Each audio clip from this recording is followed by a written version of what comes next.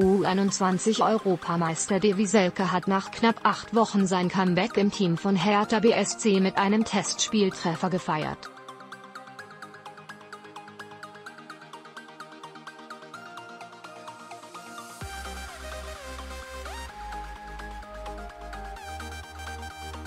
Der 23 Jahre alte Stürmer erzielte beim 3:0, 0:0 Sieg über den Oberligisten und Kooperationspartner Hertha 03 Zehlendorf am Donnerstag in der 82.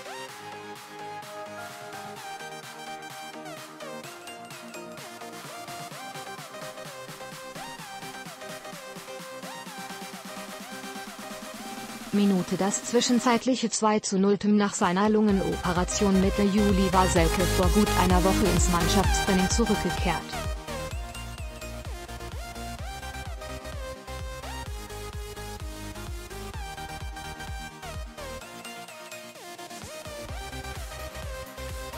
Für die weiteren Treffer sorgten der eingewechselte Mohamed Keprit, 56. per direktem Freistoß und Ersatzkapitän Per Schellbrett, 84.